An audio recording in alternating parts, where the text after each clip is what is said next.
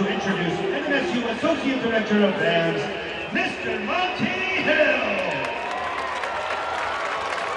Please help the pride honor our great country and all those we know and love who are serving today in our military and civil services with the beautiful battle hymn chorale.